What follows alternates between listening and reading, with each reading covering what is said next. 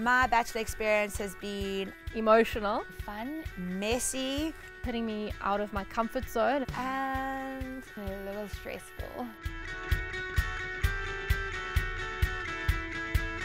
I have learnt It is very easy to get anxious. It's very easy to overthink things and get paranoid.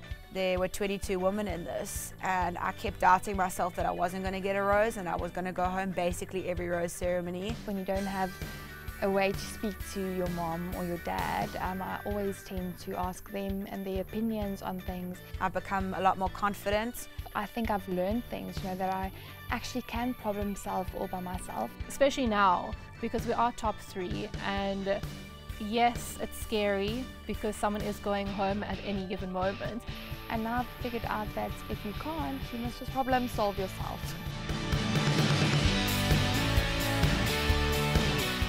Lowlights for me is meeting some of the girls, then after a while saying goodbye. The arguments I had with Pasha at the dinner party, that wasn't a very nice night. It was very emotional and very taxing. dealing with different personalities in the house The thing that people don't get is on this journey, you're not there all the time. You don't know the emotions that we are all feeling. they don't think about where's that person coming from they don't know my history they don't know you know my life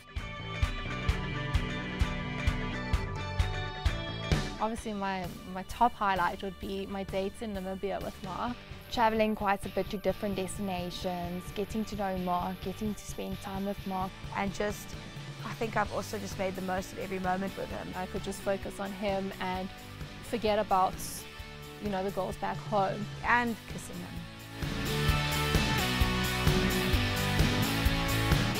I definitely didn't think I would get this far. Uh, from the day that I walked in, I thought that I'd go home on the first night. i think then i didn't think i would make it this far But here we are, in the top three. and this journey has been amazing. I didn't even think about planning my hometown date because I didn't even know I was going to get that far. i'm happy that i have made it this far and i would like to continue